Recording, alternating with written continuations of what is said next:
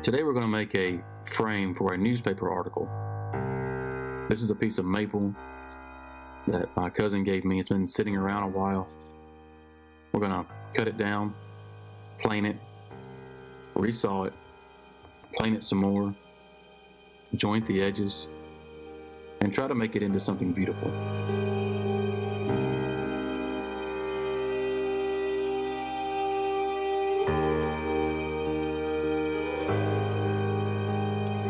Also want to tell you my story.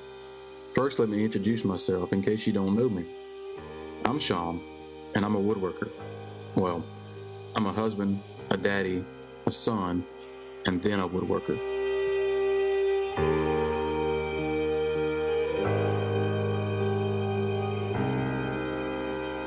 I haven't always been a woodworker, and I wouldn't even really call myself a good one. I just like it a lot.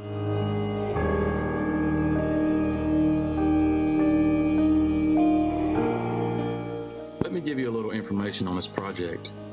This wood, it's ambrosia maple, meaning the beetles have left their mark in the wood.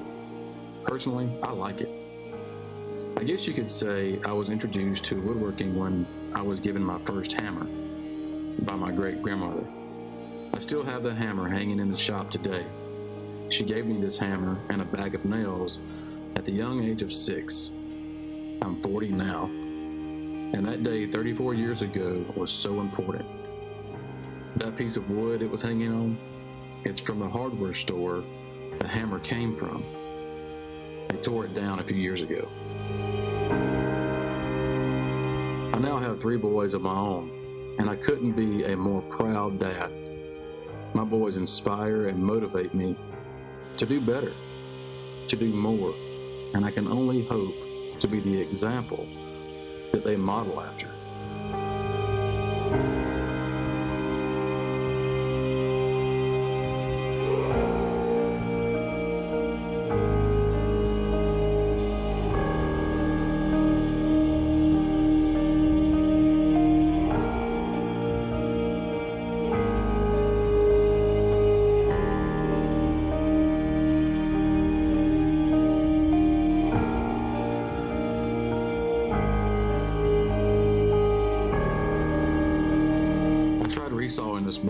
Bandsaw first, but it was just too much to handle.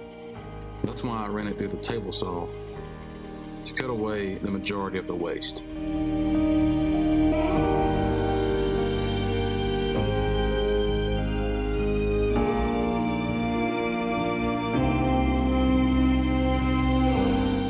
Here I'm planing again to get rid of the unevenness the bandsaw left. I guess I should explain the mess I'm making. My dust collection bin is getting full, but I didn't realize it until this point in the project. But I'll have it taken care of before the next project.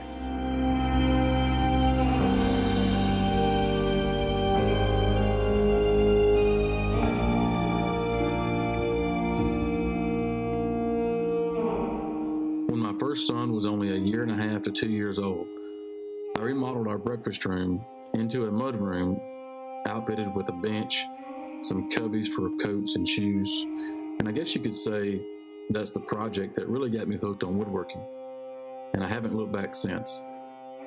But what left an impression on me was that my son was following me around with a hammer and a screwdriver, copying my every move. I knew then that I had to be intentional with my time with him. So that's when I decided to build a workshop.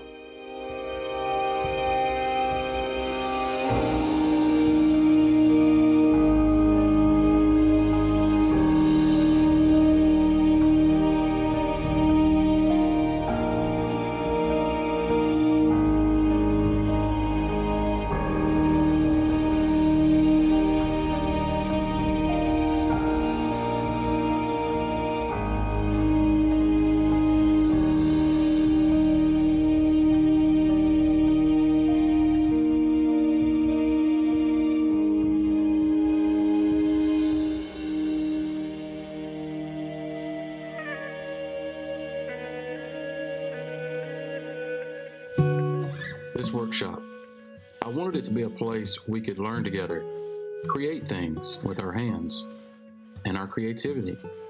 and bond together. I want this place to be a memory and nothing more. These things they learn and create will be memories. The bonds made will be everlasting, and a legacy will be built. Sometimes teaching is about more than just passing on a skill.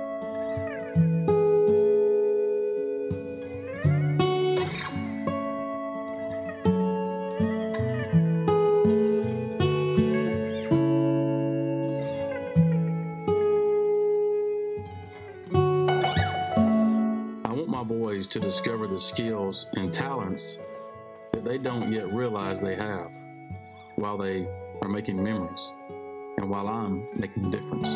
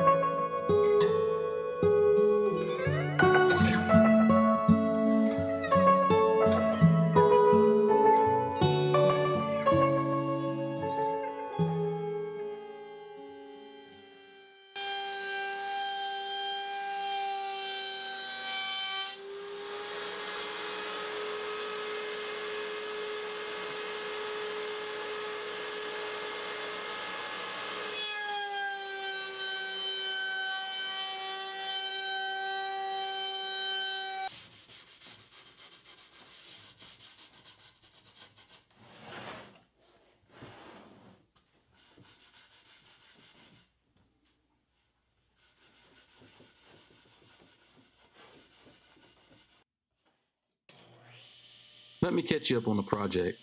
After we were done resawing and planing, I glued up the two pieces and applied some butcher block oil. At the router table, I added a chamfer to both sides and applied some more oil to the edges. Here I'm cutting the plexiglass that will be what holds the newspaper article in place.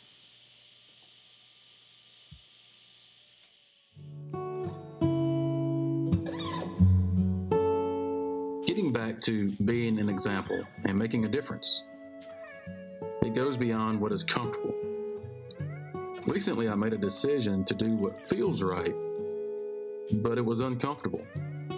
You see, I took a job when I turned 21, a good job, a job with benefits and decent pay.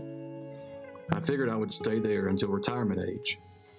But something changed, and it was because I wasn't making a difference.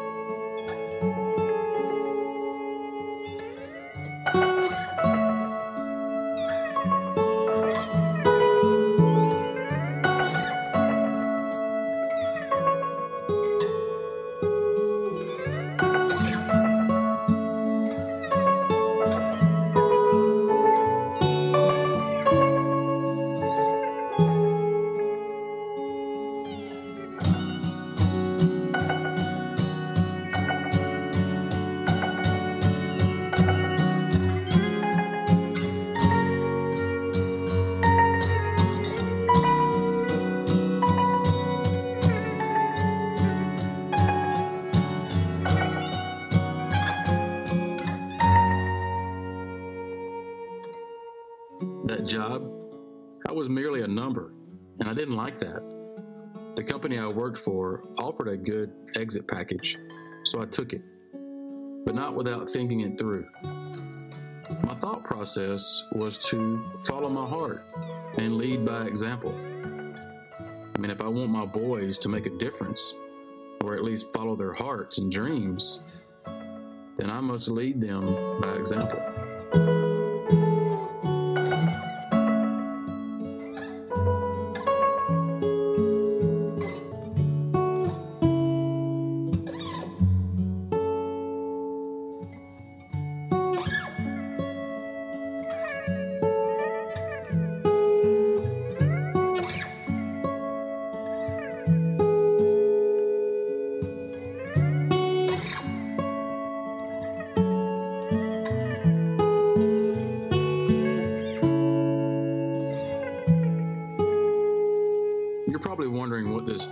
Article is all about. Well, the local paper here started asking questions about what I do. And one thing led to another, and it resulted in a feature in the lifestyles section. Pretty cool, I thought. But I'm not here promoting the article. I'm just here telling you my story.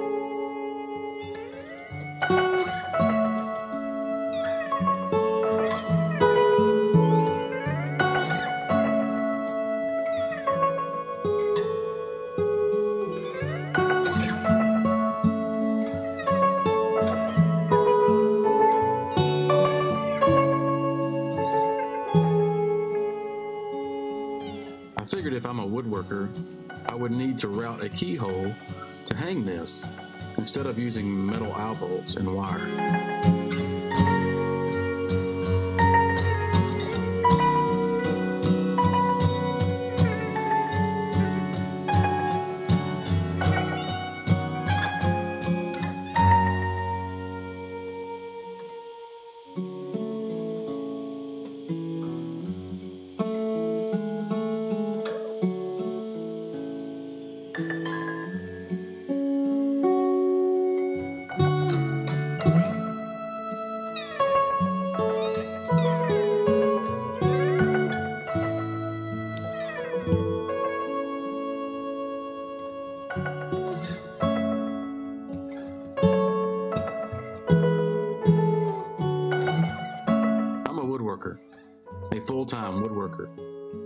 Least that's what I say.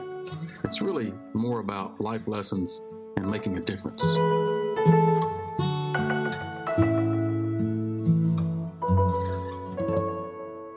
To learn more about who we are and what we do, you can find us at www.stoneandsons.net.